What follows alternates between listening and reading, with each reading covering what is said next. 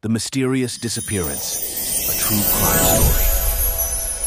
The small town of Millfield was known for its quiet streets and tight-knit community. But in the summer of 2010, it became the center of a chilling mystery that would baffle investigators and residents alike. This is the true crime story of Emily Carter, a young woman who vanished. Without a trace, leaving behind a trail of unanswered questions and broken hearts. Chapter 1 The Last Sighting Emily Carter, a 24 year old recent college graduate, was last seen on the evening of June 15, 2010. She had just left her job at a local bookstore and was planning to meet friends for dinner. Security cameras captured her walking towards her car in the parking lot, but she never made it to the restaurant. Her car was later found abandoned on a deserted road on the outskirts of town. Chapter 2 The Investigation Begins. The Millfield Police Department launched a massive search operation.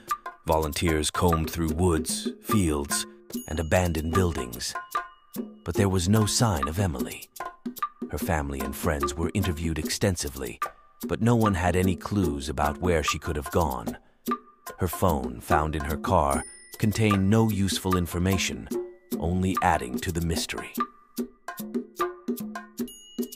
Chapter 3 A Stranger in Town.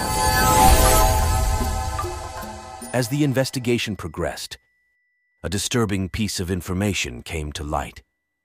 Witnesses reported seeing a suspicious man lurking near the bookstore on the night Emily disappeared. He was described as tall, with dark hair and a noticeable scar on his cheek.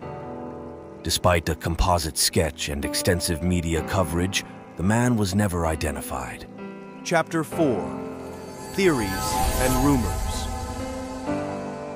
Rumors began to swirl around Millfield. Some believed Emily had run away to escape her problems, while others speculated she had been abducted by someone she knew.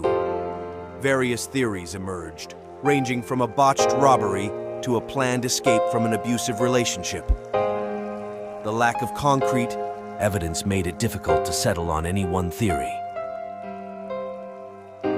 Chapter 5 Breakthrough or Dead End. Months turned into years, and Emily's case went cold.